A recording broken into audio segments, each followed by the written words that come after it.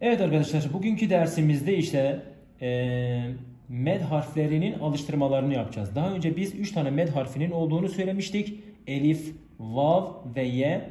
Bunlar arkadaşlar kendisi e, yani kendi cinsinden olan harekelerden sonra geldikleri zaman e, o harfi çekmemiz gerekiyordu. Mesela üstünden hemen sonra yani üstünlü bir harften hemen sonra hareketsiz elif geldiğinde A sesini çekmemiz lazımdı.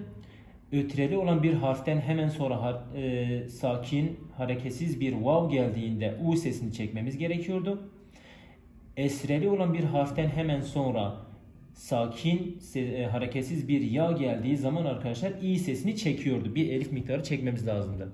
Şimdi ise alıştırmalara devam edeceğiz. Arkadaşlar birinci alıştırmamızda kelimemizde e, şu şekilde alemine. Burada iki tane burada iki tane e, med harfi var. Birincisi arkadaşlar ayn harfimiz görüyorsunuz ki burada e, harekesi üstündür. E, üstün harekesi olan aynden hemen sonra sakin elif geldiği için e, a'yı çekmemiz lazım. Yani a sesini çekmemiz lazım. A. Mimden hemen sonra da e, mimin e, harekesi e, esre olduğu için ondan hemen sonra hareketsiz ya gelmiş. Ya diyor ki iyi çek diyor. Mi diyeceğiz. Alemine. Şimdi ben e, okuyacağım. Beyza öğrencimiz de bizden sonra tekrar edecek. Alemine. alemine, Kafirine. kafirine, Fasikine. fasıkine, Cahiline.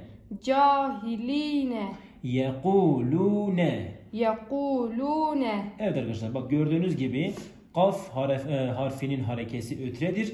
Ondan hemen sonra vav gelmiş hareketsiz vav ve hareketsiz vav diyor ki u sesini çekmen lazım diyor. Yekulune.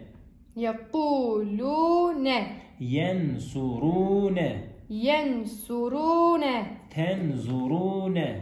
tenzurune, Teşkurune. teşkurune, يشكرون. يرجعون. يرجعون. يكذبون. يكذبون. يخدعون. يخدعون. يشعرون. يشعرون. تعلمون. تعلمون. ينفقون. ينفقون. يوقنون. يوقنون. يؤمنون. يؤمنون. يؤمنون يخادعون. يخادعون. يجاهدون. يجاهدون. تقيمون. تقيمون. يقيمون. يقيمون. مفلحون. مفلحون. مفسدين. مفسدين. مؤمنين. مؤمنين. مصلحون. مصلحون. Yuhitune. Yuhidune. Mustakime. Mustakime. Nesta'inu. Nesta'inu. Mağdubi. Mağdubi. Evet arkadaşlar alıştırmamızı bu şekilde bitirmiş olduk. 3 tane med harfimizin olduğunu söyledik. Elif, vav ve ye alıştırmalarıyla birlikte bitirmiş olduk. Evet teşekkür ederiz.